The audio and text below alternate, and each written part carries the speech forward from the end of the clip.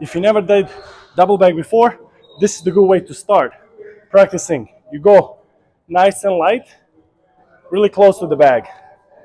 And then gradually, you start bringing your hands closer to your face until you bring them all the way to your face. Make sure you have the rhythm with your feet, and this is it. You just want to get in a rhythm with it. And then once you get better, you can start doing all the fancy stuff. Get your head movement right, get your distance right.